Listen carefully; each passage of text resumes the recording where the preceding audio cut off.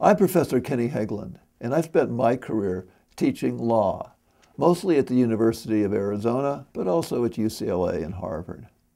About eight years ago, I gave up my course in sports law to pick up a, to teach a course in elder law. And frankly, elder law is a lot more interesting than sports law. I learned so much thing, so many things that I should have known that I didn't know. Like you, I've seen a lot of ads on television about reverse mortgages and maybe living trusts. And I kind of have an idea a little bit about them, but I didn't know what they actually were. I learned a lot about uh, grandparents. I knew that many grandparents, I think it's like 5 million families, are headed by grandparents in this country. And I didn't realize, however, all of the legal problems that that would engender. I knew a lot about uh, living wills. Indeed, I had a living will. What I didn't know is that they're not often, they're not followed in the hospital. And I didn't know how I could make sure that mine was if that time came.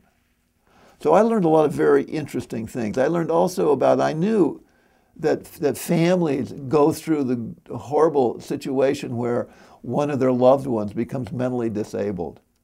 I didn't know, however, what they should do about it. What legal steps should they take to mitigate the difficult times that would come? Teaching this to law students, future lawyers, was important, but I realized that it was probably more important to get the word out to people like me who didn't know all of these very basic things. So I decided to write a book, and I teamed up with a leading practitioner in the area of elder law who spent his 30 years sitting across the desk talking to seniors and their families about real life problems. So we published this book. And the book actually, I think, was, was is a good book. The head of the Commission on Law and the Elderly of the American Bar Association thought it was a great book. And he wrote, and let me read to you, it is an encyclopedic legal reference with the down-home philosophy and wit of Will Rogers, wryly enriched by poetry, humor, and existential musings. I just love that because my parents loved Will Rogers, and I inherited a love of him myself. I realized, however, after a while, that some people don't want to buy a legal reference book. They want to buy, they want to know only if they're, let's say, a, a relative has to go into a nursing home. They want to know about that. So I decided to put together this series of videos that would pinpoint specific legal problems that you or your family may be having.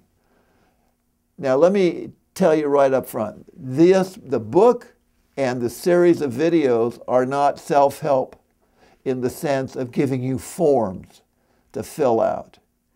Rather than a how to do it series, it's really a how to think about it series. We'll be talking about when you should see a lawyer, when you shouldn't see a lawyer.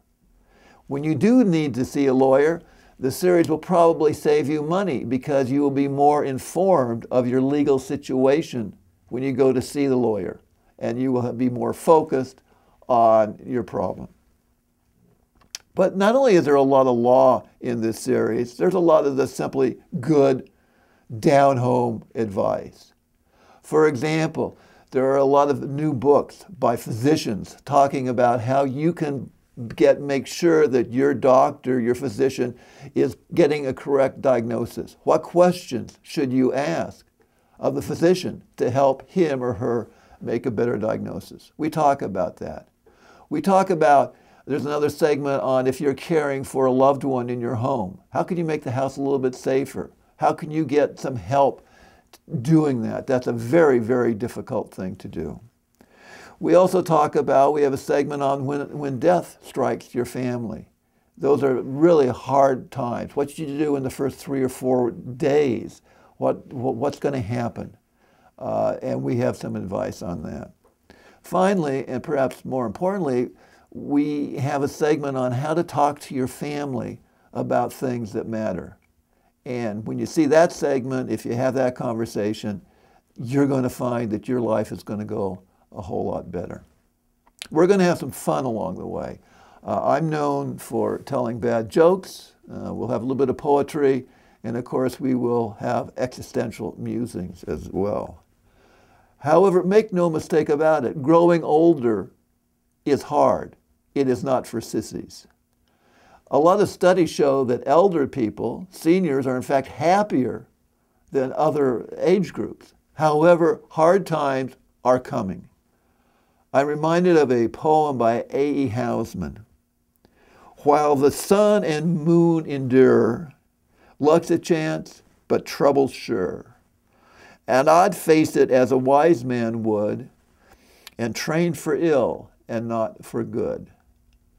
You can look at this series as a manual helping you train for ill, helping you prepare for the difficult times that will come, and helping you do things better for yourself and your family. Does training for ill work? A. Housman ends his poem. The poem is about a king who knows his enemies are trying to kill him.